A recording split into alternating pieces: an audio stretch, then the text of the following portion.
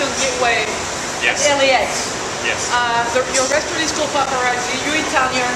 You're born, raised, uh, trained in Italy. You've been in LA for quite a while now, and you're a chef by heart. Yes, absolutely. Yes. I'm from Sicily, actually, south of. Uh, Sorry, Italy. not familiar. Sicily different, right? No, no, no. It's not different. It's pretty much the same. It's pretty much the same. So southern roots and uh, a lot of seafood, and especially we look uh, to use the freshest ingredients possible. So your mom, uh, you learned to cook. Uh. Absolutely, yes. So yes. some of your your menu on the, the restaurant is only Italian cuisine. Is Italian Even cuisine though we're in a hotel restaurant at the airport, there are no uh, continental food. There's not even a hamburger. It's everything is Italian. Inside paparazzi, everything is Great. Italian. So we started with burrata, now with tomatoes. Yes. We had uh, something special. We had sardines with Yeah. eggplant. Sardine. Uh, we Fresh sardines coming from Europe, actually. We use a lot of sardines in Sicily, so as a Sicilian chef, what I can do? Sardines. we had I have to try the pizza. Absolutely, yes. Um, then you had your your uh, the cioppino, the cioppino de paparazzi, which is our uh, specialty, one of our specialty. We do a fennel tomato broth, and then we use a lot of fresh shellfish and fish. It's a, it's a classic Italian stew. Even though the name cioppino, I know that was born here in the States in San Francisco. uh, then we had a uh, branzino. Branzino, Ludemer, We do them there with tomato and with a very nice uh, vinaigrette, which we're going to talk about uh, in, a, in a few Yeah. minutes. We, another special of the house was the lasagna. Okay, Oh, lasagna. The, the, the lasagna. You see, you have to try that. And I've had a lot of food, I, I, and I'm really happy you forced me to, you know, to play it on, on the table. What's the thing about this lasagna? Well, our lasagna is a little bit different than the classic one. Most of the time you can find the lasagna with the classic bolognese or the meat sauce inside. What we're doing over here, we do our lasagna al brasato, that means braised, with short ribs. So we braise the short ribs for a very long time, then we pull the meat with the same sauces, and we layer the short ribs uh, uh, together with some sauté spinach, some bechamel, and some ricotta cheese. Yeah, and, and then the- we do a little gratin And, and, the and the pasta by itself, the dough that you made was The dough, the dough we do in house. You know what you Zero did? zero flour. You forgot your mother's parmesan eggplant parmesan. Oh, the eggplant parmigiana, even though the name parmigiana is coming from Parma, north of Italy, is a recipe that is very popular in Sicily. We use a lot of eggplant. What we do uh, here, our eggplant is a little bit different. We want to build, uh, like you say in French, a couverture to the eggplant. We slice the eggplant very thin.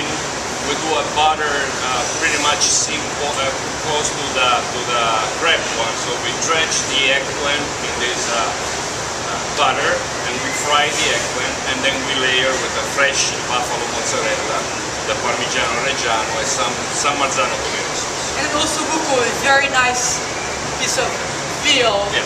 On It's the- organic. It's the- actually organic. Our beef, uh, all the beef that we're using here, all the meats that we're using in paparazzi are organic. The veal is organic, and uh, they never use hormones, uh, antibiotics. And our presentation is the classic one that is known uh, is known as the Milanese one. So we do some saffron risotto on the bottom to make it a little bit creamier. We mix some mascarpone cheese, and then we seep the ossobuco on top risotto. And at the beginning of the meal, we didn't talk about that yet because I wanted, I was very, uh, I got passionate about that uh, dish. It was which is tuna tartare. Okay, we're in LA. Tuna tartare is everywhere in every restaurant, and and you have a very different version of the tuna tartare that you created. So we're gonna uh, re- make it Absolutely. together right now. So let's start, and then Well, the classic tuna tartare that you see in Los Angeles has something green, which is most of the time is avocado. Uh, we're using a different uh, ingredient, which is artichokes. So we clean the artichokes, we use only the heart of the artichoke, and we blend it up with some extra virgin olive oil from Sicily too, some lemon juice, some haricot verde, and some celery, and we do like a passata, what we call in Italian a passata of artichoke. Which is- which is a puree of Okay. artichoke, exactly. Okay. Then we use the fresh tuna. what we're doing.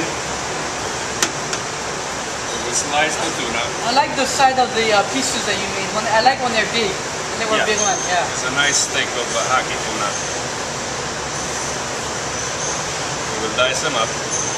So it's a very creative uh, uh, tuna tartare because of these artichokes and the vinaigrette that uh, you're using, which it is. Uh, It's a, it's a blood orange salmorillo. Like I said, I'm coming from Sicily and actually southeast of Sicily, the city of Avola, which is a thing known all over the world for the, the wine, Nero d'Avola.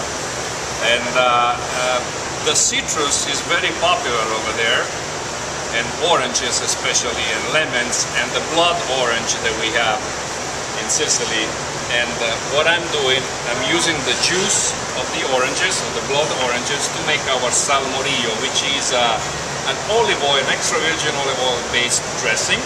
I add some garlic, some shallots, some fresh mint, parsley, and uh, oregano, fresh oregano.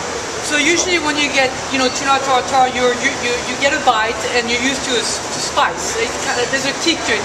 And yours was like. But actually, what there's a trick in the plate. You need to mix everything up. You need to mix everything. Because you don't mix the artichokes and the tuna tartare, so you do. Let's do the plate, right? Yeah. Okay. We're gonna use a little mold, and then we can put some of the artichoke puree. That was good, and you can really tell it's it's a French artichoke that was uh, used to make this uh, puree. like half of the mold. So that's a, quite a, a time-consuming dish to make to create, Oh, right? yeah, yeah. You can still see the pieces of the artichoke. What do you do in with middle. the leaves of the artichokes? You do some other stuff, or Um, no, no. No? We're using only the heart. Even though in Italy we use the whole fruit, in this case I'm using only the heart of the artichokes. Then we go with the tuna. And like I told you, what we're doing, we put the tuna in this little bowl. So the tuna gets the first seasoning from Yes. this one here. Then we go with the salmorillo.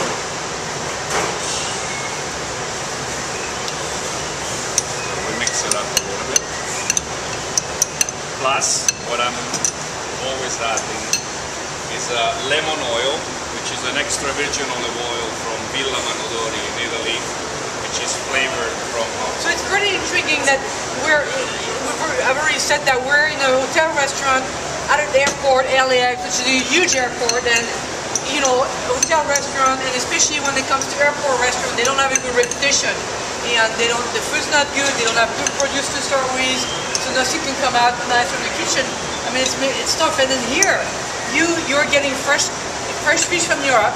You're Yes. getting fresh meat from uh, only organic throughout the different places in the US. Uh, fresh vegetable, organic, which you can tell. You know, just eating them. You, it's, it's you're you're very lucky to be able to have that liberty to uh, Oh yes, create. absolutely. Yeah. I'm very lucky to be here, even though, like you said, you know, uh, an airport hotel. But uh, we try to do our best. And like I told you, most of the time it's not just the chef, but it's the quality of the ingredients to make your plate better. So let's remove the mold. This is pretty much done. What we're doing over here, Uh, that that that. we that's- reduce just the blood orange juice Yeah. for a very long time. I'm adding a little sugar, not, not, not too much sugar on the rum, and it's sitting for uh, a few hours, very low temperature, and we're doing a sort of a syrup. So we're gonna use this one That, that makes it very different tuna tartare. It's a very uh, interesting dish. And then you have this, you know, blood orange that has a very strong taste. You like to finish it up with some uh, color, right? Yeah. We give some color. We're using some organic again, uh, heirloom tomatoes, just like right there. And then a little, uh. Yeah. You can finish it up in the dish, if you want, just on top of the artichoke. Oh, there's a. It needs to be in a particular place, right? Yeah. Yeah. Nice job. unfortunately, I had so much food I can't eat that one anymore, but that was really good. Thank you, chef. Thank you. Thank you.